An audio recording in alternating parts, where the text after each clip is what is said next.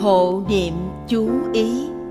Tọa đàm 16 Nam Mô A Di Đà Phật.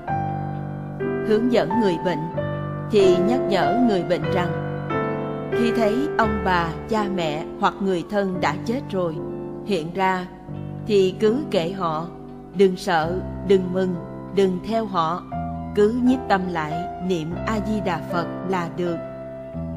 Nếu thấy Phật, Bồ Tát chư thiên, quỷ thần nào khác hiện ra, cũng kệ họ, đừng sợ, đừng mừng, đừng theo họ, cứ nhiếp tâm lại niệm A-di-đà Phật là được. Những điều này người hộ niệm chắc đã biết rõ rồi. Ngoài ra, xin thưa thiệt với chư vị, thế gian này không dễ gì có người biết đến vấn đề này đâu. Chính vì thế, khi hộ niệm cho một người, rất cần người bệnh còn tỉnh táo, để có thể hướng dẫn họ tránh những cạm bẫy hiểm nghèo. Hướng dẫn người bệnh thì chúng ta cũng phải tự nhắc nhở cho chính mình, đừng sơ suất. Mong chư vị nhớ kỹ. Trong bản chú ý này có câu Thấy Phật, thấy Bồ Tát, thấy chư thiên, quỷ thần hiện ra Dù có tướng hảo quang minh như thế nào đi nữa Cũng mặc kệ, đừng sợ, đừng lo, đừng mừng, đừng theo họ hãy cứ nhiếp tâm niệm A Di Đà Phật là được. Điểm chú ý này cũng nhắc nhở đến người tu hành, nếu có cái tâm mong cầu muốn thấy cảnh giới thù thắng, thì vì do tâm quá mong muốn thấy cảnh giới, nên thường hay thấy này thấy nọ, rồi phát tâm hoan hỷ vui mừng. Trong những ngày qua, chúng ta đã đọc rất nhiều những lời khai thị của Ấn Tổ.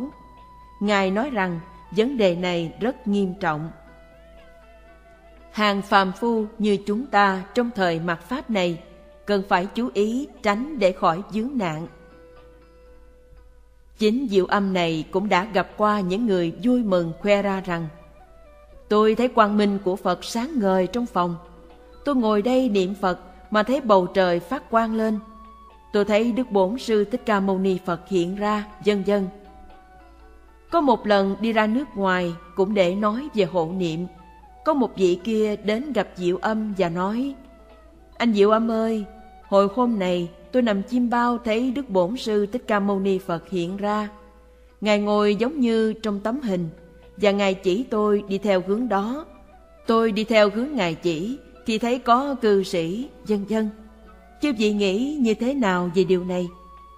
Nên có sự nhận thức cẩn thận mới được nhé. Chỉ cần một tâm ý vọng động nảy ra một sự tham chấp khởi lên thì có thể cảnh giới liền hiện ra đấy. Hôm qua chúng ta đọc một lời khai thị của Ấn Tổ. Ngài nói, khi quá mong cầu thấy cảnh giới thì cảnh giới liền hiện ra. Hiện tượng này nhiều lắm. Nếu là người có tu hành, có công phu thì thường thường là cảnh giới đẹp hiện ra. Trong mười điều thiện lợi của Pháp niệm Phật, có một điều Người niệm Phật đêm nằm thường thấy được những giấc mộng đẹp, những giấc chim bao đẹp, nhiều khi thấy Phật. Nhưng xin chư vị phải nhớ kỹ điều này. Tâm thanh tịnh thì sẽ ứng với cảnh thanh tịnh, còn tâm mong cầu thì sẽ ứng đến những cảnh huyễn vọng. Chính vì vậy mà Ngài Ấn Quang thường nhắc nhở chúng ta nhất định đừng bao giờ hiếu kỳ, đừng bao giờ tham chứng đắc, đừng bao giờ tham những cảnh giới đó nếu tham cảnh giới thì thường thường bị vọng động. Vọng tâm sẽ ứng tới vọng cảnh. Vọng cảnh hiện ra hợp với cái tâm mong cầu nên liền hoan hỷ. Khi gặp một cảnh duyên mà tâm hoan hỷ lên thì liền bị cảnh chuyển. Theo như Ngài Ấn Quang nói, đó chính là bị ma sự.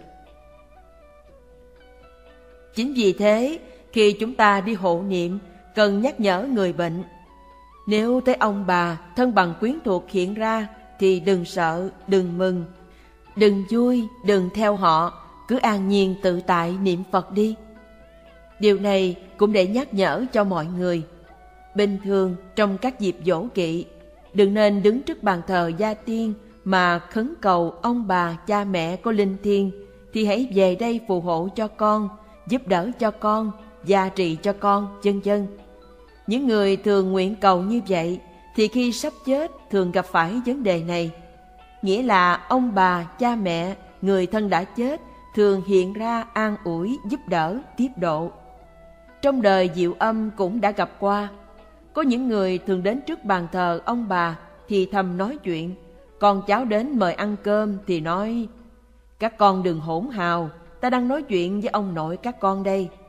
Ta đang nói chuyện với ông cố con đây, với ông bác các con đây.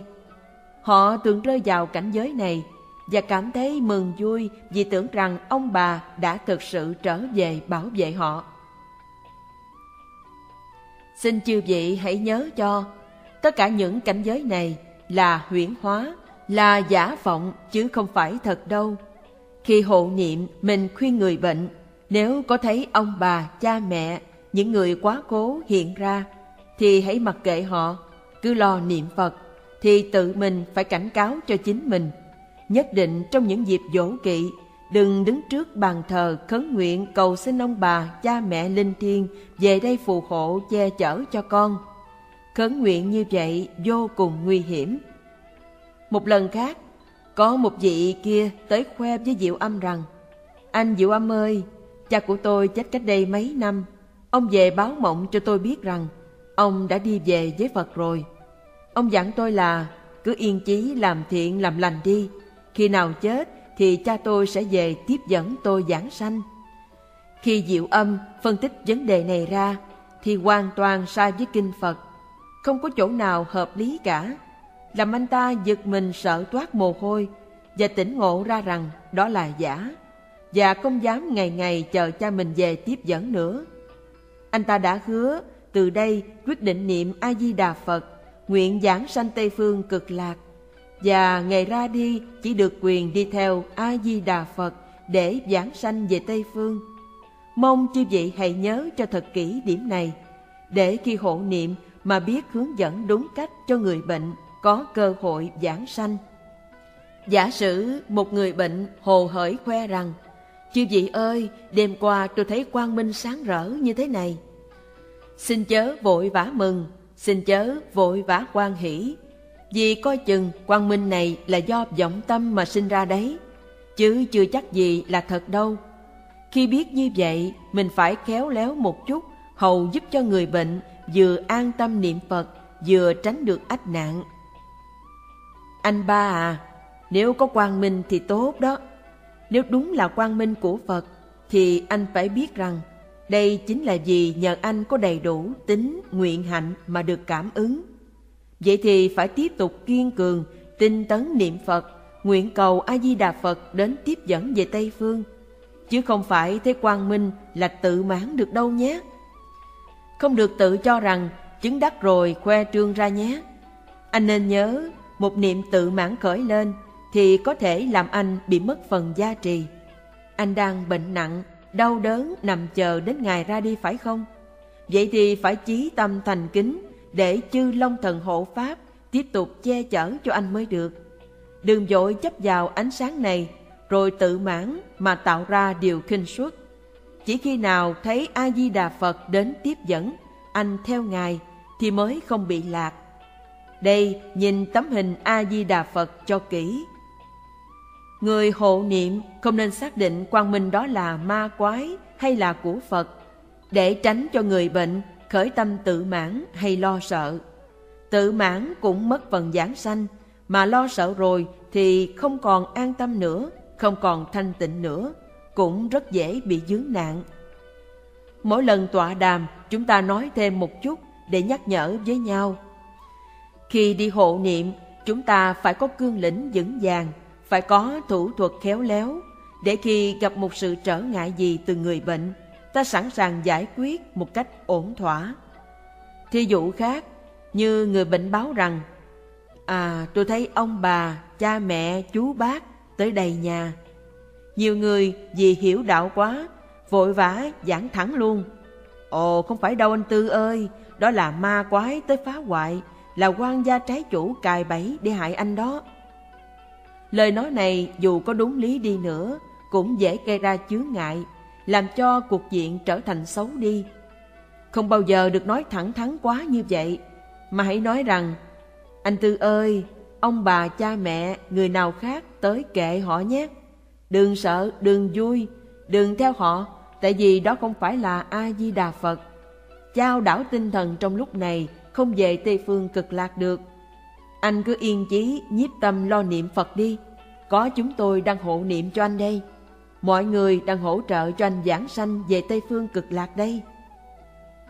Xin chư vị nhớ rằng, khi đi hộ niệm, chúng ta phải luôn luôn cẩn thận từng lời nói.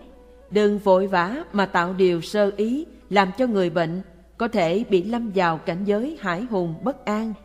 Một khi rơi vào trạng thái sợ hãi rồi, rất khó làm cho tâm hồn của họ bình phục trở lại. Rất khó làm cho họ an tâm tiếp tục niệm Phật được. Mong chư vị cố gắng hỗ trợ tốt cho nhau để cùng giảng sanh Tây Phương cực lạc. Nam Mô A Di Đà Phật Hộ niệm chú ý Tọa đàm 17 Nam Mô A Di Đà Phật Phật dạy Ly kinh nhất tự tức đồng ma thuyết. Thuyết kinh giảng đạo cho đại chúng tu hành, Mà rời kinh Phật một chữ Thì chẳng khác gì lời nói của ma.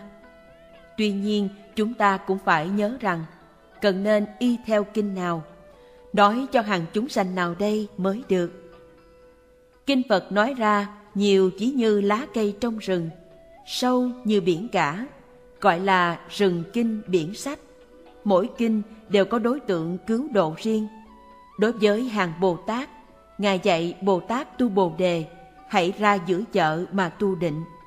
Nếu ta đem lời này mà dạy cho chúng sanh phàm phu trong thời mạt Pháp này, Bảo họ hãy ra giữa chợ mà tu định, Thì họ sẽ bị đọa lạc. Có lời Phật dạy cho hàng Huệ Hạnh Bồ Tát. Ngài bảo, phiền não là Bồ Đề.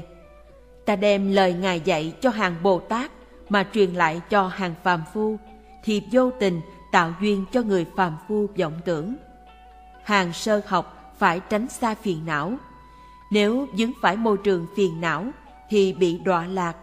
Nghĩa là đối với hàng phàm phu thì phiền não là phiền não chứ không thể là bồ đề được. Trong pháp hộ niệm đã ứng dụng thật chính xác vấn đề. Ly kinh nhất tự, tức đồng ma thuyết. Y kinh giảng nghĩa, tam thế Phật oan. Nói rõ hơn, vấn đề khế lý, khế cơ rất quan trọng. Thí dụ, như khi chúng ta đi hộ niệm, chư vị có thấy những điều đặc biệt gì người bệnh thường dướng phải không? Hình như hàng phàm phu tục tử như chúng ta thường thường bị dướng mắt toàn những điều hết sức gần gũi, chứ ít khi nào liên can đến những đạo lý cao siêu, phải không? Do đó, khi khai thị hướng dẫn người bệnh giảng sanh, nếu ta nói đến những đạo lý cao siêu thì thường đưa tới kết quả thất bại. Chúng ta cũng nói y theo kinh giáo đó, nhưng đã ứng dụng sai rồi, vô tình làm cho chư Phật cũng đành chịu hàm oan. Nói chính xác hơn, thật ra lời kinh đó Phật không dạy ở trường hợp này.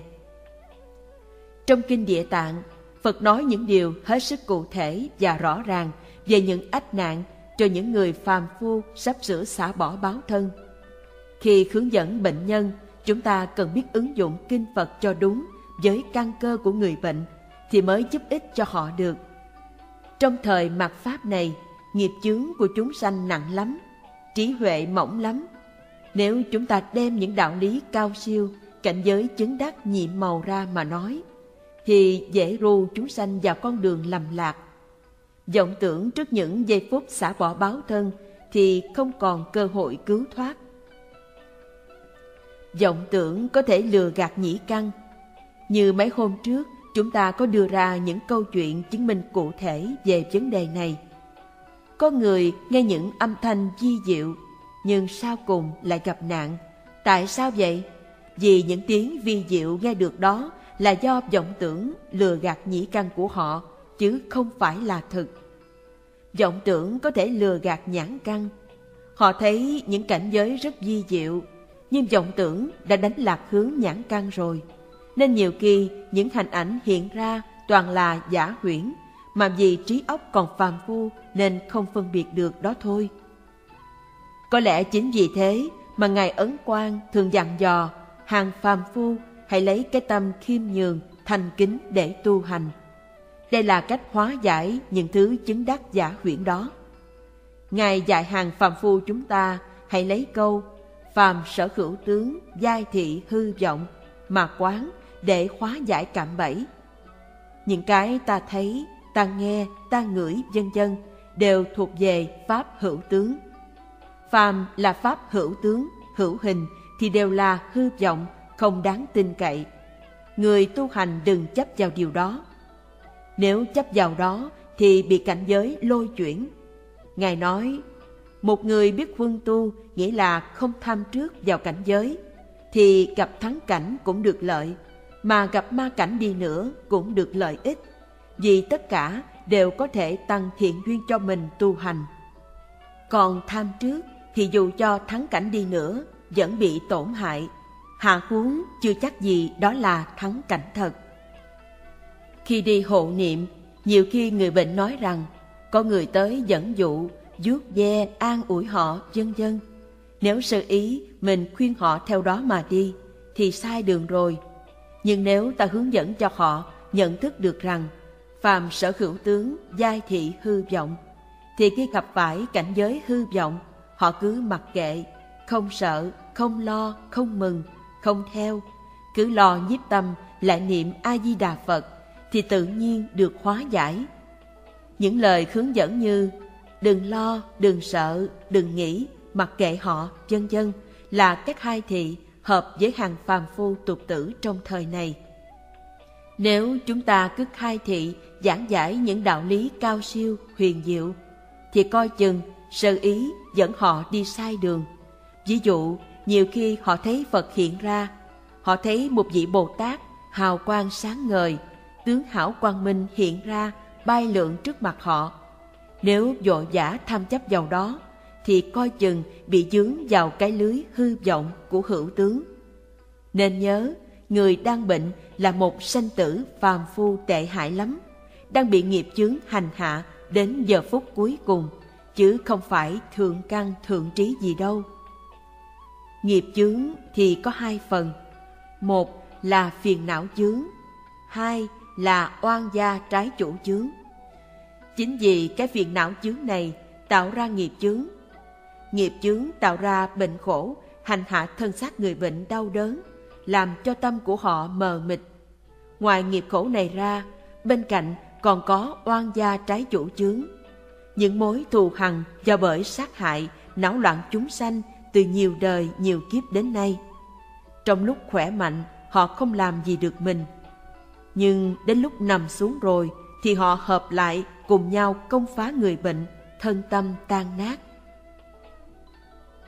Oan gia trái chủ muốn phá hoại một người không tu hành thì khỏi cần chờ đợi hay chuẩn bị trước. Một chiêu nhẹ nhẹ là xong. Còn muốn phá một người có tu hành không phải là chuyện đơn giản. Họ phải kiên nhẫn chờ cơ hội thuận lợi mới ra tay được. Cơ hội thuận lợi đó là gì? Thường thường là người đó khởi tâm vọng động, tham chấp vào những điều hảo huyền. Thí dụ như ham mê cảnh giới tốt, thích có hào quang, cầu được cảm ứng, cầu nghe được âm thanh, cầu ngửi được mùi hương, cầu Phật Bồ Tát hiện ra cho thấy, vân vân. Đó gọi là những cảnh hảo huyền. Một người tu hành mà vừa thấy những cảnh giới lạ, liền khởi tâm mừng vui, tự mãn. Nói chung, họ bị dướng vào lòng tham và tánh thượng mạng. Đó là những thứ thuộc về sáu loại căn bản phiền não rồi. Tăng thượng mạng là cửa ngõ gần gũi nhất, thuận lợi nhất cho các vị trong những cảnh giới đối nghịch, lợi dụng cơ hội này mà tiếp cận gây hại trả thù. Chính vì thế, muốn an toàn giảng sanh trong thời nay, xin thưa chư vị hãy nhớ cho kỹ lời dạy của Ấn Tổ. Ngài dạy rõ ràng lắm, lúc nào cũng giữ cái tâm hiền hòa, chất phát, thật thà mà tu.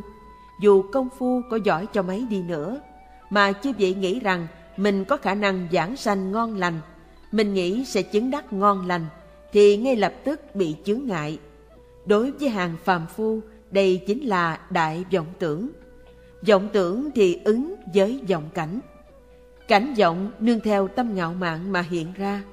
Vì chúng ta còn mê mờ nên khó có thể phân biệt được chân giả vậy.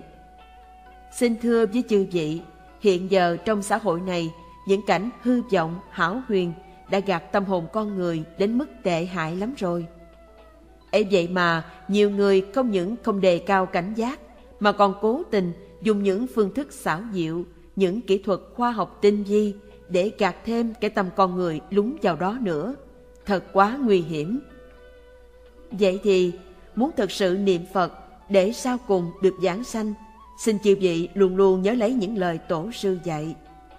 Đừng nên hiếu kỳ, đừng nên đánh mất tâm khiêm hạ, đừng nên khởi tâm cầu chứng này chứng nọ. Đừng mơ ước thấy được cảnh giới lạ. Hòa thượng tịnh không nói, khi chư vị thấy một cảnh giới gì đẹp đẹp mà đi khoe ra, thì định tâm của chư vị đã tiêu hết trơn rồi. Định tâm tiêu tức là loạn tâm hiện. Loạn tâm hiện là cái tâm đang loạn động vô cùng. Sự loạn động này làm động đến oan gia trái chủ. Vô tình chính mình đã mời gọi họ đến hại mình mà không hay. Có lần Ngài nói, khi thấy mình chứng đắc cái gì đó, thì chư vị đã bị tẩu hỏa nhập ma rồi. Hiện bây giờ có nhiều người đang rơi vào hiện tượng này, nhưng làm sao chúng ta có thể khuyên giải được đây? Nghiệp nhân quả báo, tự mỗi người phải lo liệu lấy vậy. Biết điều này, chúng ta ở đây đóng cửa nhắc nhở nhau. Phải nhớ, lúc nào cũng cố gắng giữ tâm khiêm hạ. Ngày nào chúng ta cũng đọc bản Hồi hướng sám hối là chủ tâm giải trừ ách nạn oan gia trái chủ. Sáng sám hối, chiều sám hối. Cuối thời khóa niệm Phật ngày Chủ nhật, chúng ta đều đọc Nguyện đem công đức này hồi hướng cho lịch đại kiếp số, oán thân trái chủ. Tất cả chúng sanh đã bị con não loạn hoặc giết hại vì bất cứ lý do gì. Hôm nay, con xin thành tâm sám hối, nguyện cầu chư vị xóa bỏ hận thù, hộ pháp cho nhau, đồng lòng niệm Phật, đồng nguyện giảng sanh, đồng sanh cực lạc. Đây là một phần lời hồi hướng sám hối của chúng ta. Chúng ta niệm Phật xong, hồi hướng công đức cho họ. Đơn giản, nhưng hễ lòng thành thì tất ứng. Mỗi lần đi hộ niệm, ta có thể rút ra được nhiều kinh nghiệm lắm. Ví dụ như khi thấy một người bệnh gặp phải những hiện tượng là thấy có người tới rủ rê một lần, hai lần, rồi ngày nào cũng gặp như vậy, thì đúng là quan gia trái chủ tới gây chướng ngại rồi. Nếu người biết hộ niệm thì có thể hóa giải dễ dàng. Người bệnh phải thành tâm sám hối, gia đình thành tâm cùng nhau niệm Phật cầu Phật gia trì và ban hộ niệm thành tâm khuyên giải, khẩn nguyện với họ buông tha cho người bệnh. Sự điều giải này tương đối không khó lắm đâu. Điều giải một ngày, hai ngày thì có thể hóa giải được. Bên cạnh đó, rất nhiều người bị ách nạn tương tự hiện tượng hiện ra hết ngày này qua ngày khác, hết tháng nọ qua tháng kia. Nhưng vì không biết nên tham chấp vào đó. Hễ tham chấp vào đó thì vô tình dướng phải lưới ma. Mong chư vị chú ý đừng nên sơ ý nữa. Ấn Tổ nói, nếu có tâm mong cầu chứng đắc, nếu có tâm mong cầu được cảm ứng, rất dễ dướng phải ma sự. Nếu như vọng niệm ấy mà kết thành một khối chẳng gỡ bỏ được thì nguy hiểm chẳng thể nói nên lời. Hôm trước chúng ta cũng có kể ra một câu chuyện. Có người tu hành mà nghĩ rằng mình đã chứng đắc này chứng đắc nọ, nhưng sau cùng lại thắt cổ tự tử. Có người khác khoe rằng đã chứng này chứng nọ, tuyên bố ngày dập giảng sanh cho nhiều người biết. Bao nhiêu người tổ chức rầm rộ đưa tiễn giảng sanh, nhưng sau cùng không giảng sanh mà bị nạn. Tại sao vậy? Tại vì đã tu trong thời mạt Pháp này mà không chịu lấy cái căn bản nhất để tu, không chịu nghe lời tổ để tu, không chịu nghe lời Phật để tu, lại lấy cái vọng tâm mà tu. Vô tình pháp môn niệm Phật là đại pháp cứu độ tất cả chúng sanh. Phật nói dù cho những người đại tội đi nữa cũng được giảng sanh, mà chính mình niệm Phật lại bị trở ngại. Đây chính là bị sơ ý ở cái tâm thiếu kim cung vậy nhắc nhở nhau để an toàn tu hành, mong chư vị cố gắng quyết tâm y giáo phụng hành lời dạy của Ngài Ấn Quang mà tu. Đừng mong cầu được cảnh giới này, cảnh giới nọ làm chi. Đừng để tâm kiêu mạn khởi lên, thì tự nhiên chúng ta trọn vẹn ở trong quang minh phổ độ của Đức Phật A-di-đà. Tất cả chúng ta đều được giảng sanh Tây Phương cực lạc hết. Nam Mô A Di Đà Phật Hộ niệm chú ý tỏa đàm 18 Nam Mô A Di Đà Phật Phật dạy dạng pháp giai không Vô sở hữu bất khả đắc Nghĩa là dạng sự dạng vật ở tại thế gian Tất cả đều là vô thường Là số không Không chiếm hữu được cái gì cả cũng không chứng đắc được cái gì cả. Trong Đạo Đức Kinh, Lão Tự nói, đạo khả đạo phi thường đạo, có nghĩa là một đạo Pháp mà có thể nói ra được, có thể thấy được, thì đó không phải là đạo chân thường. Một người chân chánh tu hành thì có lẽ hiểu được đạo lý này, sẽ không bao giờ tự thấy mình chứng đắc gì đâu. Vì thế chư vị thấy mình chứng đắc một cái gì Thì coi chừng đó chỉ là điều huyễn mộng, vô thường, không thực. Ấn Tổ thường khuyên bảo chúng ta cần phải khiêm nhường, biết sám hối, biết nhận mình còn nghiệp chướng sâu nặng mà lấy lòng chí thành, chí kính, niệm câu A-di-đà Phật, cầu giảng sanh Tây Phương cực lạc. Khi chúng ta giảng sanh về Tây Phương cực lạc rồi, thì ở quốc độ đó là nơi cho chân tâm tự tánh ứng hiện ra. Tức là chúng ta trở về chính là những gì mà bổn lai diện mục của chính mình đã có sẵn chứ hoàn toàn không chứng đắc gì từ bên ngoài cả tất cả mình đã có sẵn rồi chỉ vì mê muội nên cứ tham đắm chạy theo những sự háo huyền của thế gian tham chấp hết chuyện này đến chuyện nọ chứng được cái này rồi, thèm chứng cái khác, vân vân. Mà quên mất những gì thực có của ta đó thôi. Đây chẳng qua là gì tâm còn quá vọng, cứ rong đuổi theo những hiện tượng vô thường, hảo quyền mà chuốc lấy hại về sau. Cho nên, tu hành mà thấy mình chứng đắc cái gì thì coi chừng đã có điều sơ suất rồi vậy. Xin nhắc lại lời ngài tịnh không nói một khi bạn cho rằng mình chứng đắc cái gì, thì bạn đã bị tẩu quả nhập ma rồi. Tại sao vậy? Vì chứng đắc thật thì không khoe ra. Mà đã khoe ra thì không phải là chứng đắc thật tâm bạn đã mất thanh tịnh rồi, bạn đã đi lạc đường rồi. Chính vì thế, người hộ niệm cần biết ứng dụng những đạo lý này mà hướng dẫn người bệnh. Nói cho gọn, gọi là khai thị. Khai thị những gì đây? Nếu người bệnh đó thấy ông bà, người thân quá cố hiện ra, thì mình nhắc nhở người bệnh rằng đó là cảnh hảo huyền không thực, không phải là ông bà, người thân thực của mình đâu. Hãy dặn dò họ, Cứ mặc kệ đi, Đừng sợ, đừng lo, Đừng mừng, đừng theo. Cứ nhiếp tâm niệm câu A-di-đà Phật Thì tự nhiên an toàn. Lời khai thị này đúng với kinh Phật dạy một người mà thường thấy Phật hiện ra, Thường thấy Bồ Tát hiện ra, Thường thấy Quang Minh hiện ra. Nếu tham chấp vào đó, Sẽ rất dễ dướng phải lưới ma. Người biết Pháp hộ niệm thì biết nhắc nhở câu này. Cứ mặc kệ đi, đừng sợ, đừng vui, đừng mừng, đừng tham chấp vào đó. Hãy nhiếp tâm lại niệm câu a di đà phật là được.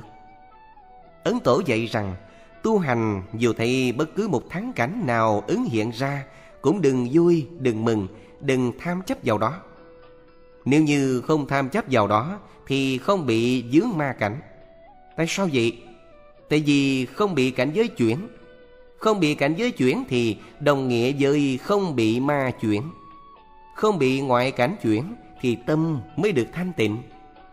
Ngài nói, bí quân tu thì có thắng cảnh hiện ra, chúng ta cũng có lợi, mà dẫu cho ma cảnh hiện ra cũng được lợi luôn. Vì ta không sợ, không buồn, không mừng, nghĩa là tâm ta không động. Tâm không động thì ma không thể chuyển. Ta cứ an nhiên tự tại niệm Phật đi thẳng về Tây Phương thành đạo. Mổ xẻ những chuyện này ra, mình mới thấy Pháp hộ niệm mới nhìn qua thì hình như quá bình thường, nhưng thật sự đã ứng dụng một đại Pháp nhiệm màu Cứu người giảng sanh thành đạo. Chúng ta hãy xem thêm những điều cần chú ý khác của Pháp hộ niệm. Thấy cảnh giới lạ, tốt hoặc xấu, hiền hoặc dữ hiện ra Cứ kệ đi, đừng mừng, đừng sợ, đừng lo, đừng để ý đến. Cứ nhiếp tâm niệm A-di-đà Phật là được. Đây là những lời mà người đi hộ niệm cần biết Để hướng dẫn người bệnh. Xin thưa với chư vị Những điều này mình tưởng là thấp lắm sao? Không đâu. Nó là một đại pháp cứu người vượt thoát ách nạn của nghiệp chướng Giảng sanh thành đạo đấy Vậy thì giả sử có người tới khoe rằng Họ thấy được quang minh này Thấy được quang minh nọ Chư vị có còn háo hức chạy theo nữa không? Ngài Ấn Quang nói Nếu là người biết quân tu Thì đừng mừng, đừng sợ, đừng tham chấp tới thì tất cả những cảnh giới đó không bao giờ có thể chuyển được định tâm của ta. Thời này đã lún sâu vào mạt Pháp hơn 500 năm rồi. Chúng ta là hàng phàm phu, cần phải biết đường nào an toàn để tu hành mới được. Có lần Diệu Âm đến một nơi nọ, có người tới khoe rằng Anh Diệu Âm biết không, tôi đã từng ngồi tại chiếc ghế này niệm Phật. Lúc đó, tự nhiên trên bầu trời bỗng có tiếng Phật hiệu giang giang dội lại. Cả bầu trời ánh hào quang hồng ứng hiện lên. Thực vậy sao? Tôi chỉ hỏi vậy và không dám nói gì thêm. Nếu người đó có đọc qua những lời khai thị của Ngài Ấn Quang Thì chắc cũng nên cẩn thận xét lại vấn đề. Khi gặp cảnh giới thù thắng hiện ra Thì đừng mừng, đừng sợ, đừng tham chấp vào đó. Có vậy mới được an toàn, không bị cảnh giới chuyển. Ngài cũng thường nói rằng Thế gian thời này, có nhiều người ưa tham chấp những chuyện hảo quyền, Thành ra dễ dướng phải lưới ma. Trong đời Ngài, có một người tới khoe rằng, Đang niệm Phật thì thấy Bồ Tát Quán Thế Âm ứng hiện ra. Ngài nói, Ảnh tượng của đại sĩ mà ông thấy lúc lễ Phật đó Không đích xác lắm đâu. Chư vị nghe những chuyện này mà tự suy nghiệm lấy nha. Một người niệm Phật thấy Đức Quán Thế Âm hiện ra rõ rệt, nhưng Ngài lại khẳng định rằng ảnh tượng đại sĩ Quán Thế Âm hiện ra là không đúng. Tại sao vậy? Chúng ta hãy đọc thêm một đoạn nữa để hiểu rõ tình tiết. Nếu đích thực là Bồ Tát Quán Thế Âm hiện thân ra, thì chẳng thể vì ông nghĩ rằng hình tượng đó sao lại không hợp với quán kinh mà Ngài liền phải biến mất đi. Thì ra người này đang thực tập các pháp quán trong kinh quán vô lượng thọ. Trong kinh này Phật đưa ra 16 pháp quán, hầu hết dành cho hàng đại Bồ Tát, đẳng giác Bồ Tát thực hành. Một người chưa xét thấu căn tánh của mình, dội lấy đó mà quán, thì dễ gì thành tựu được. Tâm chẳng thuần thì quán cảnh chẳng thông. Cảnh chẳng thông nên thường gặp cảnh vọng. Ngài nói tiếp, nhưng vì điều đó mà tính tâm của ông khẩn thiết Thì cũng là một nhân duyên tốt. Nhưng về sau chẳng được cầu mong thường thấy Bồ Tát nữa nha. Đây là lời vừa khuyến tấn tu hành, Nhưng cũng vừa là lời nghiêm khắc cảnh báo. Nghe Ngài nói, Chắc chư vị cũng có thể hiểu ra vấn đề, phải không? Người thấy được như vậy mới phát tâm tin tưởng mạnh mẽ, Đây là điều tốt. Nhưng một khi tham chấp vào đó đi khoe ra ngoài rằng mình đã được cảm ứng hay chứng đắc gì đó, thì lại sanh ra vấn đề khác rồi. Phật dạy, liệu bất khả đắc, Rốt cuộc có được gì đâu? Lão tự nói, Đạo khả đạo, phi thường đạo. Cái đạo mà còn thấy được, Còn nghe được, Còn tưởng được, Còn giảng ra được, Thì không phải là đạo chân thường nữa rồi. Lão tử chưa từng học Phật mà Ngài đã ngộ tới đạo lý rất cao của Phật Pháp. Còn chúng ta học Phật mà không chịu ngộ ra một chút để đành phải bị lầm lạc sau. Vị này còn khai báo rằng trước lúc ngủ thầy quang minh sáng lòa. Ngài trả lời, Lúc ngủ, ông thấy ánh sáng trước mặt Và khi lễ Phật, thấy tượng Phật đứng trên hư không Tuy là thắng cảnh, Nhưng đừng dội tham đắm vào đó Hiểu được ý nghĩa thâm sâu chứa bên trong lời khuyến cáo, Chúng ta mới biết cẩn thận áp dụng cho đúng pháp. Đừng nên sơ ý. Ngài nhìn qua đã biết tâm những vị này chưa tịnh, còn dướng mắt nhiều điều. Người tu hành, khi tâm được tịnh, có thể cảm ứng đến cảnh tịnh. Nhưng lúc tâm vọng, thì cảnh tịnh trước liền biến chuyển thành cảnh vọng rồi. Chính vì vậy, chúng ta niệm Phật cần có cái tâm thành kính. Nương theo đại nguyện của Đức A-di-đà Để được tiếp độ về Tây Phương Cực Lạc. Nơi đó không thể nào vọng động được. Còn ở đây thì sao chứ gì biết không? Phật nói, Thế giới này là cái thế giới ngũ trượt ác thế. Một cái tâm phàm phu sống trong một môi trường ô trượt ác thế Không dễ gì được an nhiên hưởng cảnh thanh tịnh đâu. Năm trượt thì có, Kiếp trượt Đời này ô trượt lắm. Kiến trượt Kiến đại diện cho kiến văn giác tri, Kiến là thấy Thấy cảnh giới thù thắng đó, Nhưng không thể phân biệt được là đúng hay sai. Văn là nghe Nghe âm thanh tưởng là thực, Mà coi chừng bị giả. Giác là hiểu, Tưởng mình hiểu thấu suốt, Nhưng coi chừng hiểu lầm. Tri là biết, Điều mình biết tưởng là đúng, Nhưng đâu ngờ Nhiều khi lại sai. Vì biết sai, hiểu sai, thấy sai, nghe sai Nên cứ tiếp tục chìm đắm Trong cảnh sai lầm đó. Ấn tổ gọi tình trạng này là bị dướng vào lưới ma. Phàm phu thì phiền não ẩn sẵn trong tâm này Chứ không đâu xa cả. Chỉ cần khởi một chút phiền não Thì ma chướng nương theo đó khởi lên. Như vậy ma chướng là gì?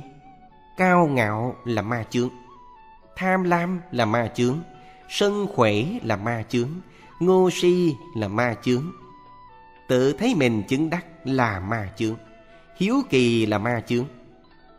Dướng phải những điều phiền não này Thì ma chướng ứng hiện ra. Ma chướng ứng hiện Thì cảnh giới trước mắt chỉ là sự ảo quyền không thực. Phật dạy, phàm sở hữu tướng, Giai thị, hư vọng. Rõ ràng, Ma, Phật Phật ma Ở ngay tại tâm mình, Chứ không phải ở đâu xa. Chúng ta niệm Phật, Đem đúng pháp niệm Phật này Hộ niệm giúp cho người bệnh giảng sanh. Khi người bệnh thấy những cảnh giới gì khác Mình phải nhắc nhở, đó chỉ là giả huyễn. Hãy định tâm lại, Nhìn ảnh tượng A-di-đà Phật Do ban hộ niệm treo trước mặt để niệm Phật. Khi A-di-đà Phật hiện ra giống như hình tượng đó, Thì hãy theo Ngài mà đi giảng sanh. Đây là quy luật an toàn cho người thành tâm niệm Phật giảng sanh, Không bị lạc. Những kỳ tới thì chúng ta sẽ cố gắng nói rõ thêm điểm này. Bất cứ một cảnh giới nào lạ ứng hiện ra, Nếu sơ ý cho đó là thực Thì sai liền. Hãy dặn người bệnh định tâm lại, Niệm cầu A-di-đà Phật. Chỉ đi theo A-di-đà Phật, Chí thành thì cảm ứng. A-di-đà Phật sẽ ứng hóa theo tâm nguyện của mình Mà tiếp độ về Tây Phương cực lạc. Nói rõ hơn, Khi định tâm niệm A-di-đà Phật thì tự tánh a di đà phật của chính ta ứng hiện ra. A di đà phật là phật đã thành, ngài phát thệ sẽ ứng hóa tiếp dẫn tự tánh a di đà phật của chúng ta về tây phương cực lạc thành phật. Thật sự pháp hộ niệm quá di diệu, cứu độ được đến cả hàng phàm phu nghiệp nặng giảng sanh thành đạo. Nếu rời pháp này ra, hàng hạ can phàm phu như chúng ta Tìm đâu ra cơ hội được độ thoát. Nam Mô A Di Đà Phật. Hộ niệm chú ý, Tọa đàm 19 Nam Mô A Di Đà Phật. Khi đi hộ niệm. Nếu người bệnh thấy cảnh giới, Dù là tốt hay xấu, Dù hung hay hiền hiện ra, Người hộ niệm cần khuyên họ Đừng để tâm tới, Đừng sợ, Đừng mừng. Cứ lo nhiếp tâm niệm A-di-đà Phật là được. Điểm này quan trọng lắm. Nếu ta sơ ý tán thán Hay lo âu vì những cảnh giới đó, Dễ khiến người bệnh sanh ra vọng tưởng. Những thứ vọng tưởng này Đối với người còn đang tỉnh táo như chúng ta Cũng vẫn thường mắc phải. Thì đối với người bệnh lúc đó Tâm họ yếu rồi, đã mê rồi. Thân xác và thể lực của họ còn yếu hơn nữa. Nên vấn đề này rất dễ xảy ra. Ta chỉ được khuyên họ cố gắng kiên cường quyết lòng buông xả tranh thủ từng hơi thở. Dù cho mệt mỏi Cũng cố gắng giữ câu A-di-đà Phật mà niệm. Hãy nhìn tấm hình Phật mà niệm Để định cái tâm vào đó. Nhờ tâm chí thành tha thiết Mà được Phật lực gia trì, Được A-di-đà Phật ứng hiện ra Tiếp dẫn giảng sanh, Thoát khỏi ách nạn luân hồi, Giảng sanh tịnh độ. Điều này rất quan trọng. Nếu người bệnh nói rằng Họ thấy được một cảnh giới đẹp quá, Mình chưa biết đó là cảnh giới gì Mà vội giả khen tặng, tán thán. Vô tình, suối họ chìm đắm trong đó. Thật là điều không tốt. Cảnh giới nhiều khi hảo quyền lắm, Không phải đơn giản đâu. Ấn Tổ dạy rằng, Người tu hành cần nên giữ lấy tâm khiêm cung, Thành kính Để đến lúc lâm chung Dễ tương ứng với 48 nguyện Của Đức A-di-đà Mà được cứu độ giảng sanh, Chứ không phải chứng đắc rồi mới giảng sanh. Trên thế gian này, Ta cũng thường nghe thấy Có người khoe ra nhiều sự chứng đắc. Nếu người càng tánh yếu đuối Mà ham thích điều đó, Rất dễ dướng phải những cạm bẫy vô cùng đáng sợ. Cách đây khoảng 10 năm, Một vị kia có công phu niệm Phật, Nghe nói cũng khá lắm.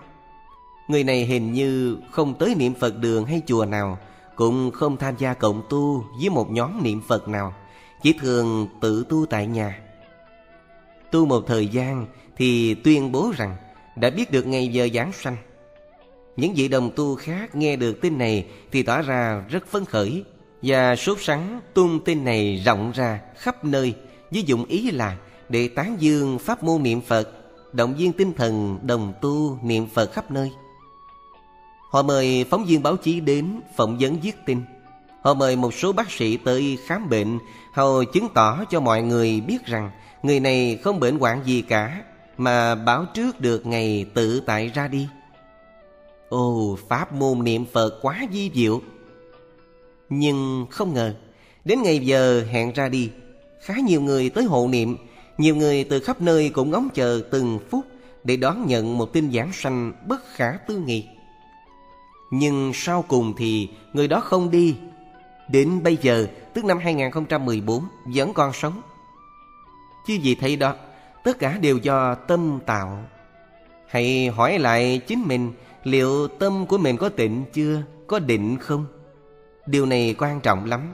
Hòa thượng tịnh không nói, Người tu hành vừa thấy được một điều gì hay hay Mà vội vã khoe ra ngoài, Thì cái định đã tiêu rồi.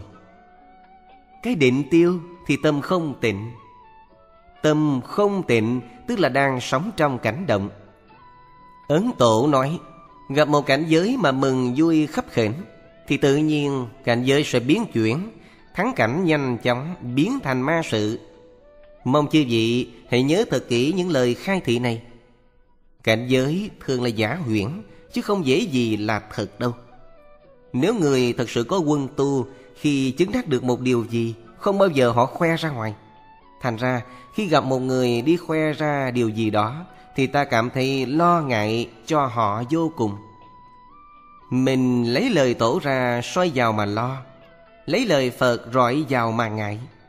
Phật dạy Thời mạt Pháp này ức ức người tu hành Khó tìm ra một người chứng đắc. Vậy thì một nguồn tên nào đó báo rằng Thời này có Pháp tu thật là tuyệt vời Thực hành một tuần, hai tuần, ba tuần, mười ngày vân vân Thì ai cũng có thể được chứng đắc hết. Là một Phật tử chân chánh, Ta dám tin tưởng chăng? Tin lời Phật dạy hay tin lời người thế gian đây? Hãy tự đặt câu hỏi và tự trả lời lấy Chứ biết làm sao có thể khuyến cáo được ai đây Một người tu hành kể ra cũng lâu rồi, Công phu cũng khá khó khăn, Nhưng chưa thấy chứng đắc điều gì Trong khi nghe được tin, Có người tu một pháp nào đó, Được chứng đắc quá dễ dàng, Quá nhanh chóng thì làm sao mà không dễ bị động tâm Khi một người đã tự nhận mình đã chứng đắc rồi Thì khó mà khuyên giải được gì Chúng ta nói chuyện ở đây là muốn tâm sự với những người đang thành tâm tu hành, đang tỉnh táo niệm Phật, chứ không thể nào nói với những người đã đi vào tình huống đó. Khó vô cùng. Chính vì sự khó khăn này mà chư Phật muốn cứu chúng sanh cũng không phải dễ. Phật nói ức ức nhân tu hành hạng nhất đắc độ. Đây là tình huống thật của thời mạt pháp này. Nhưng con người không tin lời phật dạy, vội giả chạy theo những hiện tượng sôi nổi của thế gian mà quên mất những khó khăn sau đó. Lỡ dướng nạn rồi, chư phật muốn cứu cũng không phải dễ. Tất cả đều do tâm tạo. Chính cái tâm chúng ta quyết định lấy, gọi là nhất thiết duy tâm tạo. Tất cả các pháp tất cả các hiện tượng đều do cái tâm mình ứng hiện ra. Chứ vậy nên nhớ, một khi tâm tưởng thì sự ứng hiện. Ví dụ, chư vị ngồi trong niệm phật đường đây, đang nhiếp tâm niệm phật, nhưng chợt nghĩ đến một chuyện gì đó, nghĩ một người bạn chẳng hạn, thì người bạn đó hiện ra trong tâm. Nghĩ một người đang gánh một gánh hàng bán dạo khoảng chừng 5 đến 10 phút, mình có thể thấy rõ ràng một người đang gánh hàng đi trước mặt nếu bị rơi vào tình trạng hôn trầm, ngủ gục, thì còn có thể dễ nhận ra. Chứ đưa đến tình trạng vô ký rồi, thì còn khó khăn hơn nữa, để phân biệt được giả hay chân. Tâm tưởng, sự hiện. Ví dụ đang niệm phật, nhưng chợt nghĩ đến một con bướm. Chứ vậy hãy làm thử đi. Miệng niệm phật mà tâm nghĩ con bướm, nhiều khi khoảng vài giây thôi cũng có thể thấy con bướm hiện ra rồi cảnh giới quá thật là huyện hóa. Vừa nghĩ thì thấy liền. Nhưng vì tâm không tỉnh táo nên cứ tham đắm vào đó. Gọi là duyên theo cảnh giới nên liền bị cảnh chuyển. Lôi cuốn chúng ta theo cảnh giới đó, hồi nào không hay. Đó là nói riêng về cái tâm vọng động mà thường sinh ra như vậy. Bên cạnh đó, trong nhiều đời nhiều kiếp, chúng ta mê mờ, làm nhiều điều sai lầm, giết hại chúng sanh tạo nghiệp chương quá nặng. Oan gia chủ nợ, những kẻ thù hằn, họ lợi dụng cơ hội này mà xui khiến chúng ta ham thích. Một khi bị lún sâu vào cảnh giới đó, thì cảnh huyễn hóa lại hiện ra càng ngày càng rõ và làm ta khó phân biệt được. Ngài ấn quang nói, những người cứ ham thấy những cảnh giới thù thắng thì rất dễ gặp phải ma sự. Tất cả những thứ đó hầu hết là khí phần của ma mà vì tâm của chúng ta quá vọng động, nên không biết đâu là chân, đâu là giả. Rất nguy hiểm, rất nguy hiểm. Những chuyện này đã xảy ra quá nhiều.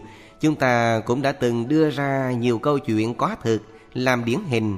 Hầu mong mọi người thức tỉnh, cố gắng giữ tâm thanh tịnh tu hành. Huyễn cảnh vô cùng dễ sợ. Người niệm phật mà tâm không tịnh người niệm phật mà tâm không chí thành. Niệm Phật mà cứ khoe cái này, Cái nọ ra. Oan gia trái chủ thường lợi dụng cách đó để hại mình. Muốn hại những người phước yếu dễ dàng như trở bàn tay. Hại những người có phước cao cần phải di tế hơn nữa. Ở đây có quyển sách Ấn Quang Gia Ngôn Lục. Xin chư vị hãy dành chút thời gian Đọc những lời khai thị của Ấn Tổ. Ngài nói rõ ràng vô cùng Người thế gian không chịu đọc đến những lời dạy này, nên thường phạm phải sơ suất, đưa đến chỗ bị nạn. Mong chư vị hiểu thấu vấn đề này, hãy thành tâm niệm phật, cầu phật gia trì, để ta được cứu về tây phương thành đạo, được a di đà phật gia trì. Thì có 25 vị bồ tát bảo vệ cho chư vị, có chư thiên long hộ pháp bảo vệ chư vị. Khi nào chư vị tâm hiền lành, chí thành chí kính không tự khoe mình chứng đắc thì các ngài mới bảo vệ. Cầu mong chư vị cố gắng thành tâm niệm phật để được an toàn không chướng ngại cho đến ngày giáng sanh tây phương cực lạc. Nam mô a di đà phật. Hộ niệm chú ý. Tọa đàm 20 Nam Mô A Di Đà Phật. Khi đi hộ niệm, nếu người bệnh báo cho mình biết họ thấy ông bà, người thân đã chết về gia trì giúp đỡ họ. Người hộ niệm hãy dặn dò họ, đừng nên để ý đến. Cứ an tâm niệm A-di-đà Phật. Đừng sợ, đừng lo, đừng theo họ. Người biết đạo, đừng nên ngày ngày khấn nguyện ông bà, người thân đã chết, về hộ trì cho mình. Mà khi lâm chung bị oán thân trái chủ, trá hình hãm hại, nếu người bệnh thấy Phật, Bồ Tát, thấy những cảnh giới thù thắng hiện ra cũng chưa phải là thật đâu. Hãy khuyên họ cứ an nhiên tự tại đừng để ý tới. Cứ lo niệm phật thì tất cả đều được giải tỏa. Khi nói với người bệnh như vậy thì mình phải tự nhắc nhở cho chính mình rằng tu hành cần phải khiêm cung, biết sám hối. Thấy mình còn phàm phu, tội chướng còn nặng nề, lấy cái tâm chí thành chí kính để tu, thì ta sẽ được thuận lợi, không bị trở ngại. Chư vị nên nhớ rằng, một người ít tu, khi gặp những cảnh giới tương tự, ta khuyên họ buông xả tương đối dễ. Ngược lại, còn những người có chút ít tu hành có một số công phu tu tập mà vướng phải những tình trạng này thì đôi khi lại khó gỡ. Vấn đề khác nhau chính ở chỗ người tu thường chấp trước cho mình là cao, là giỏi. Còn một người chưa tu, khi nghe đến thì thường có tâm trạng ngỡ ngàng, sợ hãi mà lo tu sửa. Một người bệnh hồi giờ không biết đến cảnh giới, chưa có định kiến trước, nên khi được nhắc nhở họ thường tin tưởng, dễ thay đổi, thành ra dễ hóa gỡ. Còn những người có học đạo mà học chưa thấu lý, lại hiếu kỳ ưa tham chấp vào những cảnh giới lạ thường. Đây chính là tâm vọng động, dễ biến ra vấn đề khác. Nói theo ấn tổ, thắng cảnh biến thành ma sự mà họ không hay. Tất cả những ma sự đó do tâm tham chấp mà chiêu cảm lấy nói dễ hiểu hơn, người tu hành không chịu theo đúng kinh, không theo lời tổ, cứ chấp vào sự suy nghĩ của mình, cứ cho những gì mình nghĩ là đúng, không chịu nghe lời khuyên giải, thành ra gặp nạn khó được hóa giải. Với người chân chánh, huân tu đúng pháp, thì hộ niệm cho họ dễ lắm. Nhiều khi khỏi cần hộ niệm, chỉ cần nhắc sơ là họ niệm thẳng luôn họ được vãng sanh dễ dàng. Cái khó khăn của người tu hành trong thời này là muốn tu mà không biết tu làm sao, không có người hướng dẫn đúng chánh pháp. Đành rằng thường phải tự nghiên cứu, vạch lấy hướng tu cho chính mình. Mạt pháp thì tà phái ngoại đạo thịnh hành, chướng nạn cạm bẫy văng văng. người tu hành chỉ cần khởi tâm hiếu kỳ thì ngay lập tức bị vướng bẫy khổ nổi lạc đường rồi, mà lại cho rằng mình giỏi. Ưa nói những lý đạo thượng thiên, khởi tâm khinh mạng chấp trước, coi thường những người hiền lành chất phát niệm phật. Người kiêu kỳ thường coi nhẹ pháp hộ niệm. Người không biết đạo vãng sanh, nên khinh thường những người ít tu đang ngồi niệm phật hộ niệm bên người bệnh. Xin thưa với chư vị, chê bai pháp hộ niệm là tự mình làm khó cho chính mình trước giờ phút lâm chung vậy. Cái khó của người ít tu hành là tạo nghiệp nặng quá, ít làm thiện, ít làm lành, sát sanh hại vật, oan gia trái chủ nhiều. Khi lâm chung, nếu được hộ niệm, dù có gỡ ra được nạn này, thì họ có thể lại vướng vào nạn khác. Vì vậy, thành thực mà nói, người không tu hành khó bề được giải thoát. Nhưng cũng có những trường hợp, nhiều người chưa biết tu hành lắm, nhưng tâm địa lại hiền lành, chất phát. Khi gặp câu phật hiệu, bỗng dưng họ phát lòng tin tưởng. Khi được hướng dẫn, họ biết nghe lời làm theo, biết thành tâm sám hối thì cũng có thể dễ được vãng sanh. Hiện tượng này là nhờ họ có sẵn thiện căn phước đức tu được trong nhiều đời nhiều kiếp trước. Nay gặp duyên lành họ thành tựu. Người ít tu mà được vãng sanh chính vì lý đạo này. Trở về chuyện hộ niệm, mong chư vị hiểu cho điều này. Một người dù không tu hay ít tu hơn mình đi nữa, nhưng thân thể họ còn khỏe mạnh, đầu óc của họ còn sáng suốt. Họ thương hại mình nên sẵn sàng ngồi niệm phật hai ba tiếng đồng hồ để hỗ trợ cho mình dễ dàng còn mình, dù tu hành nhiều hơn họ đấy, nhưng lúc lâm chung thì mình nằm chèo queo, thở phì phèo, không rụt rịch nổi sinh lực của mình đã khô cạn rồi. Tâm trí của mình đã bị xuống cấp một cách quá đáng rồi. Mình thua họ vì đang bị trạng thái kiệt tận sắp sửa chết đấy. Vậy thì xin chư vị đừng thấy rằng mình tu hành giỏi hơn người ta, mà để tâm khinh thường những người ít tu ngồi bên cạnh niệm Phật hộ niệm cho mình nhé. Đến thời mạt Pháp thì tâm cơ chúng sanh cạn cợt, nghiệp chướng nặng nề. Vậy mà có người lại mạnh dạn đưa ra những phương pháp niệm Phật của hàng thượng nhân. Nhất tâm bất loạn, bất niệm tự niệm, tự tại vãng sanh, không cần tới hộ niệm. Nếu quả thật làm được điều này thì tốt lắm đó. Ai vậy? Bồ Tát đấy. Còn người làm không được thì sao? Ai vậy? Phạm phu đấy. Tuyệt đại đa số chúng sanh thời này là phàm phu, mà khởi lên ý niệm này thì bị sơ ý rồi, quá sơ ý rồi, quá tự mãn rồi. Điều sơ xuất chính vì ở thời điểm lâm chung, sự việc diễn biến hoàn toàn không đúng theo như ý mình nghĩ. Lúc đó, dầu có ngộ ra và ân hận đi nữa thì cũng quá muộn màng. Bây giờ đây còn khỏe, ta có quyền nói lời cao thượng, ta không cần tới bác sĩ, y tá chăm sóc. Nhưng một khi đã vào bệnh viện, bác sĩ phát hiện rằng anh bị bệnh không còn cách nào chữa trị nữa rồi. Tinh thần có còn tỉnh táo, bình tĩnh nữa không? Bây giờ đây, anh còn nghĩ nào là nhất tâm bất loạn này, nhất tâm bất loạn kia, thanh tịnh này, thanh tịnh nọ. Nhưng lúc đó thật sự đã khác rồi phải không? Bàng hoàng, lo sợ, bất an thay cho thanh tịnh. Chứng bệnh ung thư làm anh đau đớn quằn quại, không cho phép anh thoải mái nghĩ đến điều cao thượng nữa đâu. Bây giờ đây còn đang khỏe, anh có quyền nghĩ rằng nghiệp chướng của mình không đến nỗi tệ hại như những người đã chết kia. Nhưng một khi nghiệp chướng đến rồi, chưa chắc gì mình ngon hơn thiên hạ đâu nhé. Thượng mạng là đại sơ suất của người tu hành.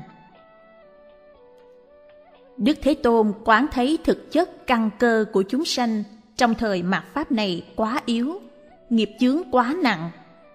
Chúng ta đã sinh ra trong thời mạt Pháp này thì phải biết nghiệp chướng của mỗi người to như núi Tu Di, nên dù cả một đời tu hành, tu một trăm năm tinh tấn đi nữa, thì tu trong thế giới ngũ trượt ác thế này. Công đức phước báo tạo ra không thể nào chống lại khối nghiệp chướng đã tích tụ từ vô lượng kiếp tới bây giờ đâu.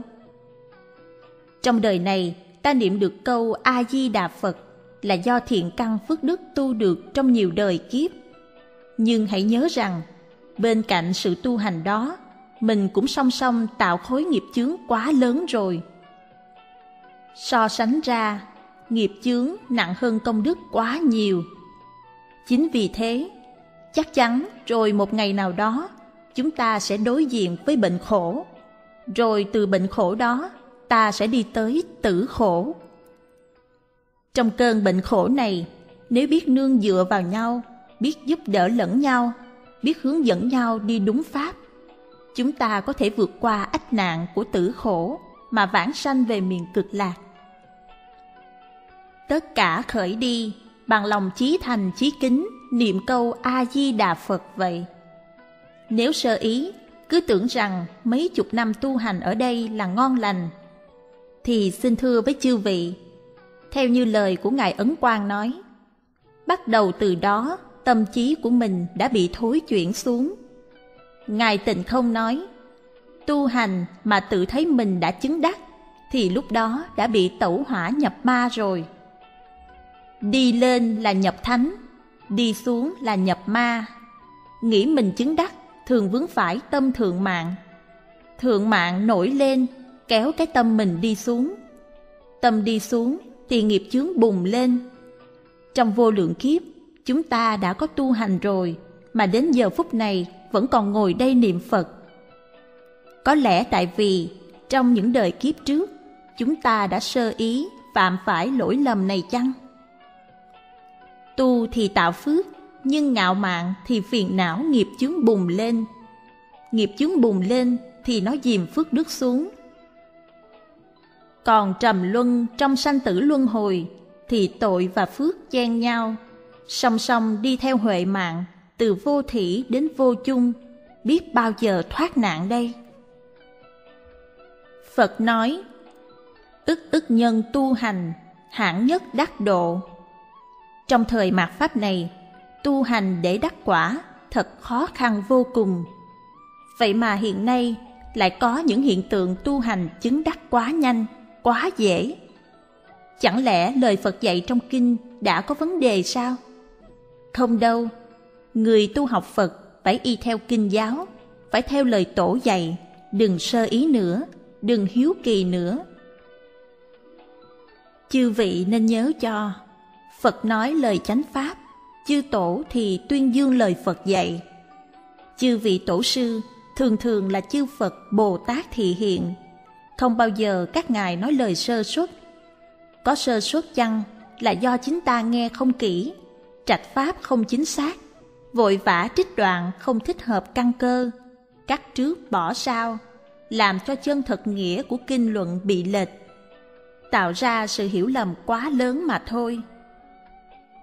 Vậy thì nếu ai là người thấy rõ mình còn phàm phu thì phải tập tánh khiêm cung, cẩn thận đường tu tập. Hãy nghe theo lời Phật. Nếu không hiểu thấu lời Phật dạy thì nên nghe theo lời tổ, nghe lời các vị cao tăng hướng dẫn. Các ngài gần gũi với chúng ta hơn. Biết chừng đâu các ngài cũng là chư Phật, Bồ Tát thị hiện, độ chúng sanh. Các ngài luôn luôn trạch pháp cho chúng sanh tu hành thành tựu mà chúng ta không hay. Trạch pháp là gì? Là lựa chọn phương pháp tu hành thích hợp với căn cơ của chúng sanh, thích hợp với từng thời kỳ, để giúp cho chúng sanh có cơ hội đi thẳng về Tây Phương cực lạc. Tu hành giống như học hành thi cử vậy.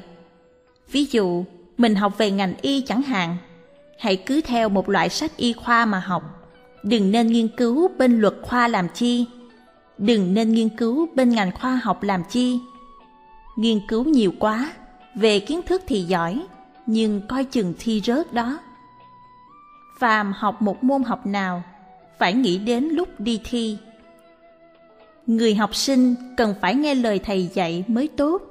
Thầy dặn, kỳ thi này các con phải học chương này, chương này, chương này, vân vân. Cứ học ba chương này thôi là đủ. Người học sinh thông minh hãy ngoan ngoãn nghe lời thầy dạy học cho vững ba chương đó thì thi đậu. Vì chắc chắn rằng thầy mình ra bài thi nằm trong ba chương đó. Học thẳng để thi đậu trước đã, đậu xong rồi mới tính chuyện hành nghề. Ví dụ, học y khoa, hãy đậu lấy bằng bác sĩ trước. Sau đó, bác sĩ trị bệnh cho người, đối trước một căn bệnh khó, bác sĩ có quyền lật sách ra nghiên cứu thêm. Phương pháp tu hành để thoát vòng sanh tử do Đức Thế Tôn trao truyền, thì Ngài là Thầy của ta. Thầy đã biết vấn nạn thi cử của những người phàm phu này trong lúc xả bỏ báo thân phàm tục để thoát nạn phải làm gì rồi. Thầy nói, ba tạng kinh điển, 84.000 pháp môn quá nhiều. Sức các con học không nổi, hiểu không thấu. Bây giờ đừng lo chuyện đó nữa, cứ lo niệm câu a di đà phật đi thì các con sẽ vãng sanh về tây phương cực lạc. Nghĩa là các con sẽ đậu sẽ không còn sanh tử luân hồi nữa. Thành tựu rồi thì tự các con sẽ biết tất cả. Chúng ta hãy nghe lời thầy của chúng ta đi. Y giáo phụng hành mà làm đi thành tâm chí thành chí kính mà niệm câu a di đà phật đi Chắc chắn trước vấn nạn sanh tử luân hồi, đề thi của Ngài là tính nguyện hành. Lời giải cho chúng ta là niệm 10 câu A-di-đà Phật cầu sanh tịnh độ thôi. Người nào trước giờ phút lâm chung niệm được 10 câu A-di-đà Phật cầu vãng sanh Tây Phương tịnh độ thì chắc chắn được vãng sanh. Ta cứ như vậy mà niệm đi, chỉ thành y giáo phụng hành đi. Chư vị từng người, từng người vãng sanh về Tây Phương cực lạc. Phật dạy, thời mạt Pháp này tu học để chứng đắc khó lắm, không phải dễ đâu. Còn người con Phật lại thấy người thế gian đưa ra vấn đề chứng đắc sao dễ quá, tuyệt vời quá, liền vội vã chạy theo. Không ngờ khi đối diện với bài thi giải thoát, thì vấn đề cần phải giải quyết hoàn toàn khác hẳn. Học Phật cũng tương tự như học trường đời, mục đích là phải thi cho đậu, chứ không phải cầu cho giỏi. ỷ vào kiến thức rộng giỏi, viết cho nhiều vào bài thi. Hay lắm không? Lạc đề mất rồi. Xin thưa với chư vị, mình tu đây là để sau cùng niệm được 10 câu A-di-đà Phật để vãng sanh. Nhưng chắc chưa? Chưa chắc đâu. Vì đến giai đoạn nằm chèo queo thở phì phèo rồi, kẻ phàm phu hạ căn này chưa chắc gì niệm được 10 câu Phật hiệu. Chính vì vậy mà ở đây ngày Chủ nhật từ sáng đến tối, chúng ta niệm Phật suốt. Từ tối đến sáng vẫn là câu A-di-đà Phật để dụng công. Niệm Phật rồi, chúng ta còn phải cẩn thận nương dựa vào nhau nữa. Nhất định phải nương dựa vào nhau, giúp đỡ nhau, để trong lúc lâm chung thực hiện cho được mười niệm tất sanh. Ngài tịnh không nói, thời mạt Pháp này đừng nên đóng cửa tự tu một mình. Hồi trưa này chúng ta có đưa ra câu chuyện một người tu quá giỏi, tới đạo tràng thấy mọi người tu tập không bằng mình nên cảm thấy phiền não, bèn về nhà đóng cửa tự tu. Tu một thời gian thì nói với nhiều người rằng mình đã biết trước được ngày giờ ra đi. Đồng tu nghe vậy, vội vã thông báo khắp nơi, nào là mời đài truyền thanh, hội đồng bác sĩ tới khám bệnh, làm video, lên báo, tung tin ra khắp nơi.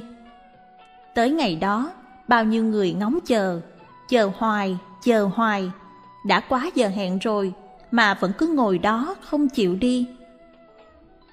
Một người chân thật tu hành, khi chứng đắc, bao giờ lại đi khoe ra ngoài. Còn người vì quá tham trước vào những gì huyễn hoặc, nên thường quên đi chính mình còn là phàm phu, chướng sâu trí cạn. Hàng phàm phu này phải dùng đến tâm trí thành để được Phật thương xót, tiếp độ về Tây Phương tịnh độ mới đúng. Khi gặp được A-di-đà Phật rồi, nhờ thần lực của Ngài gia trì mà bứng tất cả tội rễ nghiệp chướng ra, làm cho chân tâm hiển lộ. Vậy thì hàng phàm phu như chúng ta được hiển lộ chân tâm không phải ở tại cõi ta bà này, mà hiển lộ chân tâm ở cõi Tây Phương cực lạc. Nên nhớ điểm này nhé. Cái tâm của chúng ta gieo xuống cõi ta bà này không được đâu. Cõi ngũ trượt ác thế không gieo được, có cố gắng gieo được đi nữa, thì bao nhiêu cái ác, cái hiểm khắp nơi, cứ tiếp tục tấn công mà vùi dập mình xuống. Hy vọng của mình chưa kịp ló dạng, thì đã bị bẻ gãy rồi. Hiểu được như vậy, ta mới thấy niệm Phật muốn được vãng sanh trong thời này rất cần đến hộ niệm, rất cần hộ niệm. Muốn được hộ niệm cho viên mãn, xin thưa với chư vị, những điều sau đây cần phải ghi nhớ. Chấp trước nên bỏ, tự cao nên bỏ, hiếu kỳ nên bỏ, ham thích cảnh giới nên bỏ. Một người niệm Phật thấy hào quang rực rỡ cả một căn phòng. Khi gặp Ấn Tổ, Ngài nói, Điều này cũng tốt đó, nhưng không được tham trước. Nên nhớ, tham trước thì coi chừng thắng cảnh chuyển thành vọng cảnh ngay lập tức. Một người niệm Phật thấy Quán Thế Âm Bồ Tát ứng hiện trên không trung. Khi gặp Ngài, Ngài nói, đừng tham trước tới. Biết vậy thì lo củng cố niềm tin mà niệm Phật tinh tấn hơn. Chứ tham trước vào đó thì coi chừng bị trở ngại. Ngài là một đại Bồ Tát trên cõi Tây Phương thì hiện xuống đây Ngài nói như vậy, chắc chắn có lý do chính đáng trong đó. xin suy nghĩ thật kỹ nhé. Trên đời này có rất nhiều người tham trước, hiếu kỳ và sau cùng bị nạn. Mong chư vị hãy điềm đạm, khiêm cung, kính cẩn niệm Phật và hãy biết kết hợp với nhau như một bó đũa 21 chiếc. Một bó đũa 21 chiếc đơn giản vậy thôi mà khó ai có thể bẻ gãy. Mấy ngày qua chúng ta đưa ra rất nhiều mẫu chuyện vì không biết kết hợp mà sau cùng bị đại nạn. Mong chư vị quyết lòng quyết dạ, kết hợp chặt chẽ, hộ niệm cho nhau. Chúng ta đi con đường vững vàng, an ổn để vãng sanh Tây Phương cực lạc. Nam Mô A Di Đà Phật Hộ niệm chú ý Tọa đàm 21 Nam Mô A Di Đà Phật Trong mấy ngày hôm nay, chúng ta nhắc nhở những điều hộ niệm chú ý quan trọng. Nói rằng, người hộ niệm dặn dò người bệnh, chứ thật ra nếu để ý một chút, thì thấy rằng chúng ta đang dặn dò người đang khỏe mạnh đây. Xin chư vị hãy nghĩ rằng một ngày nào đó ta sẽ bệnh, rồi một ngày nào đó ta sẽ chết.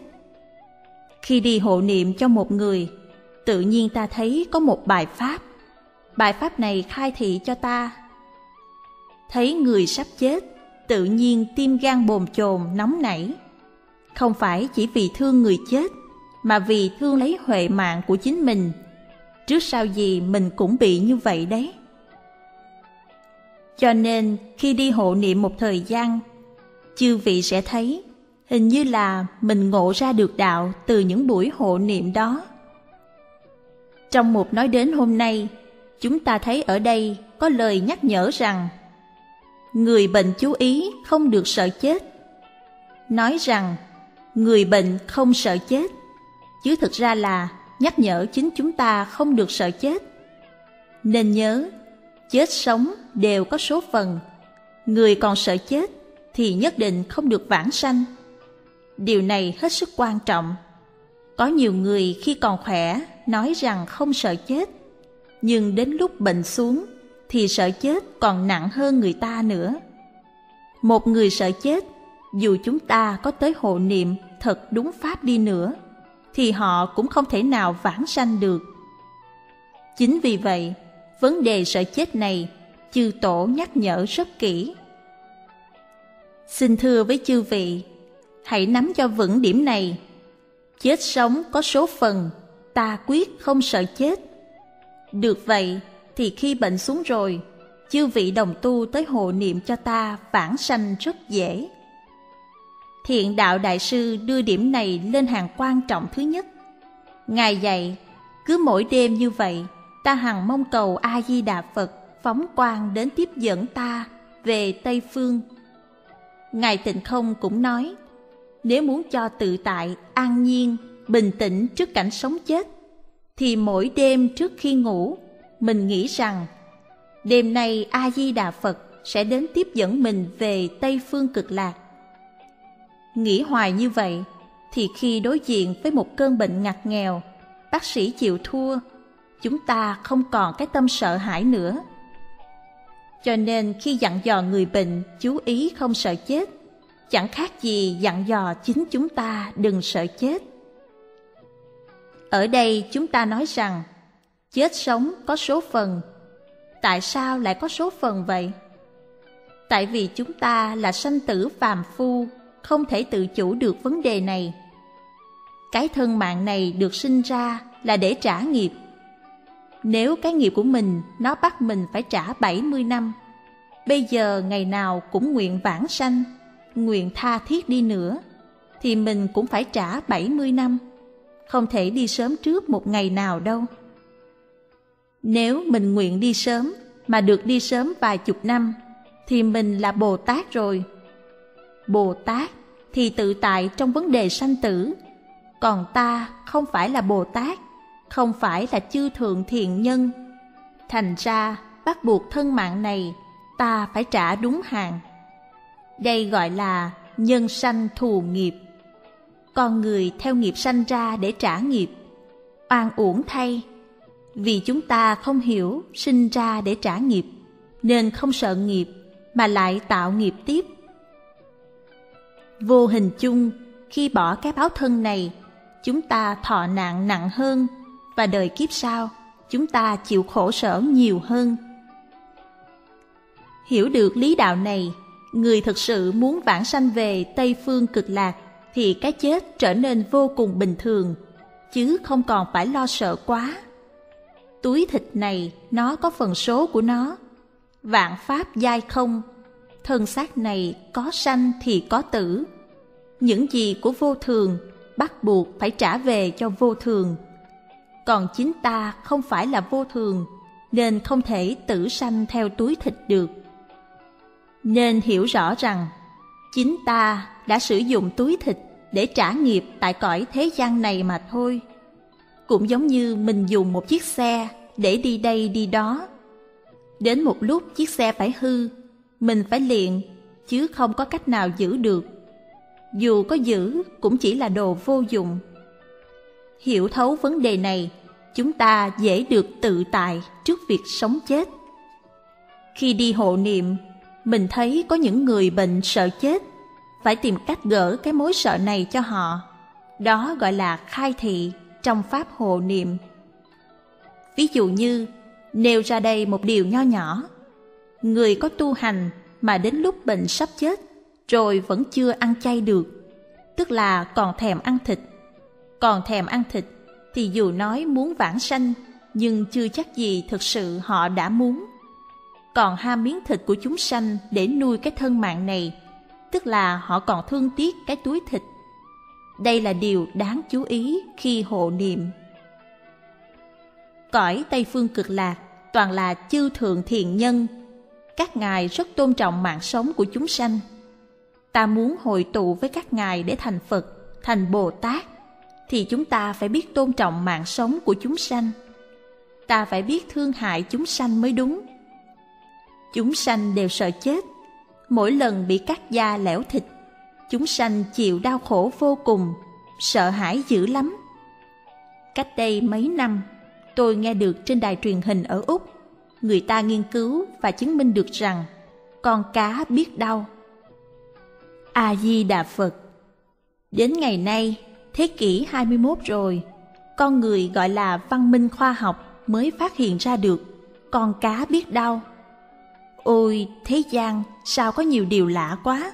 Tại sao họ không biết sớm hơn một chút rằng vạn loài chúng sanh đều bị đau đớn vô cùng khi bị mổ xẻ, mà sớm từ bỏ việc sát sanh đi? Chính vì vậy, nếu thực sự muốn bản sanh về Tây Phương cực lạc để thành Phật, xin chư vị hãy mở rộng lòng từ bi ra, thương xót chúng sanh mới được. Một người thật sự niệm Phật, tâm lượng sẽ mở lần ra Đến một lúc nào đó gắp miếng thịt của chúng sanh lên, tự nhiên sẽ thương cảm đến rơi nước mắt. Còn nếu niệm Phật mà gắp miếng thịt lên mà chưa có thứ cảm giác động lòng rơi lệ, thì thật sự cũng chưa có tâm từ bi lắm đâu. Chưa có ý thức bình đẳng đúng đắn đâu. Khi hộ niệm cho nhiều người rồi, chư vị mới thấy cái nạn oán thân trái chủ dễ sợ như thế nào. Họ ra tay rất bất ngờ, không tưởng tượng được để phòng bị. Nhiều trường hợp hộ niệm cho một người qua một vài tháng, hoàn toàn êm xuôi phẳng lặng, không có hiện tượng gì gọi là nghịch duyên. Nhưng đến giờ phút trước khi lâm chung một hai tiếng đồng hồ, mới ứng hiện ra điều bất thường, khiến mình trở tay không kịp. Ví dụ, nhiều khi từ trong gia đình, bỗng nhiên có người cản trở, bạn bè tới cản trở, nhiều chứng duyên dồn dập xảy ra, gây trở ngại cho việc hộ niệm vân vân. Hẳn nhiên trước đó, ban hộ niệm giảng giải rất kỹ, mọi người đều chấp nhận, nhưng sau cùng vẫn có lắm điều trở ngại bất ngờ. Sở dĩ như vậy là vì, xin thưa với quý vị, có lẽ nạn oán thân trái chủ chưa giải tỏa được muốn giải tỏa nạn oán thân trái chủ, thì chính người bệnh phải có cái tâm kiệt thành sám hối mới hóa giải được. Còn khi người bệnh không chịu kiệt thành sám hối, thì thật là khó nói. Nhiều khi trong những lúc bình thường, nhờ lực hộ niệm của đại chúng, sự việc tạm yên, mình tưởng rằng vấn đề chắc hóa giải được. Nhưng không ngờ, họ chờ đợi một cơ hội thuận tiện để ra tay. Quá bất ngờ, làm cho cuộc hộ niệm đành chịu thất bại. Sẵn đây xin kể một chuyện mà nghiệm ra cái nạn oán thân trái chủ dễ sợ như thế nào. Xin đừng nghĩ rằng mình niệm Phật vài ba chục năm trên thế gian này là đã hóa giải được oán nạn nhé. Chưa chắc đâu. Hòa thượng tịnh không nói, niệm Phật một ngày mười vạn tiếng, tức là một trăm ngàn câu Phật hiệu. Niệm một trăm năm chưa chắc gì phá được cái ách nạn của nghiệp chướng. Xin chư vị đừng coi việc này là tầm thường. Trong thời nhà đường, có Ngài Ngộ Đạt Thiền Sư. Ngài là một cao tăng chân tu, sau cùng trở thành một vị quốc sư. Ngài tinh tấn tu hành suốt 10 đời liên tục. Nghĩa là Ngài xả thân rồi lại thọ thân người làm tăng tu tiếp. Cái phước báo chân chánh tu hành liên tục 10 đời, nên đến đời thứ 10 được hoàng đế tôn xưng làm quốc sư nghĩa là thầy của hoàng đế. Ngài được chính hoàng đế dân cúng một chiếc ghế trầm hương rất quý, gọi là trầm hương bảo tọa. Ngài Ngộ Đạt ngồi trên chiếc ghế đó và hoàng đế quỳ mọp xuống dưới đất lạy ngài.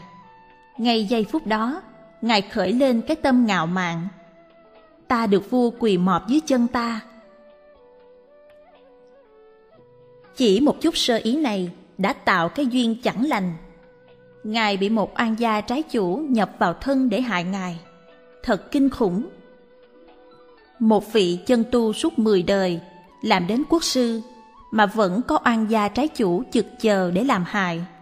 Lợi dụng một phút sơ ý cao ngạo nổi lên, thì họ thừa dịp nhập vào thân liền. Hôm qua Diệu Âm có nói, tu hành cả một đời mà khởi lên một vọng tưởng rằng ta tu hành ngon lành, ta chứng đắc rồi, coi chừng bị nạn. Chiếu theo lời Phật dạy trong kinh cũng đúng, lời tổ sư cũng nói như vậy. Nhiều công án trong lịch sử Phật giáo cũng nhắc đến điều này. Người tu hành mà khởi tâm thượng mạng thường bị nạn liền. Chính vì vậy mà Ngài Tịnh không nói, khi tu hành mà chư vị thấy mình chứng đắc cái gì đó, lúc đó chư vị đã bị tẩu hỏa nhập ma rồi. Vọng tưởng thường mạng là duyên thuận tiện nhất cho an gia trái chủ thâm nhập vào thân. Oan gia trái chủ nhập vào ngài ngộ đạt, hại ngài suýt nữa là mất mạng. Nhưng nhờ công đức tu hành của ngài quá lớn, nên được tôn giả Ca Nặc Ca giải cứu. Còn sau khi được giải thoát khỏi ách nạn đó rồi, tương lai ngài ngộ đạt đi về đâu, chúng ta cũng chưa biết rõ lắm. Thấy được như vậy, chúng ta mới tự quán xét rằng cái oán nạn của chúng ta đối với chúng sanh lớn lắm. Xin đừng khinh thường, xin đừng có tâm ngạo mạn, xin đừng sơ ý tự cho rằng đã chứng này chứng nọ. Coi chừng cái tâm tự mãn, nó ru mình mê trong cảnh giới vọng. Chờ một dịp thuận lợi họ ra tay là xong, không còn cách nào cứu vãn được. Nghĩa là tu hành suốt đời rồi, vẫn đành phải theo nghiệp mà thọ báo. Theo nghiệp thọ báo mà còn nhờ oan gia trái chủ dẫn dắt nữa, thì chắc chắn phải vào trong ba đường ác để chịu nạn rồi. Còn phước báo chúng ta tu hành được trong đời này chắc chắn vẫn còn đó, nhưng nó chung lộn với những phước báo khác trong A Lại Gia Thức. Trong nhiều đời nhiều kiếp trước, chúng ta đã tu nhiều phước báo rồi, đời này thêm một chút nữa. Tất cả đều trộn lẫn với nhau trong A lại gia thức của mình. Chúng nằm đó để chờ hàng vạn kiếp. Sau khi thoát được ách nạn của tam đồ rồi thì mới tùy duyên hưởng thọ. Đây là điều vô cùng an uổng cho người tu hành vậy. Mong chư vị cố gắng dụng tâm dũng mãnh lên, đi đúng đường, nhất hướng chuyên niệm A-di-đà Phật, cầu sanh tịnh độ nhất định chúng ta được quang minh của a di đà phật phổ độ cứu ta về tây phương thành đạo Nam Mô A Di Đà Phật.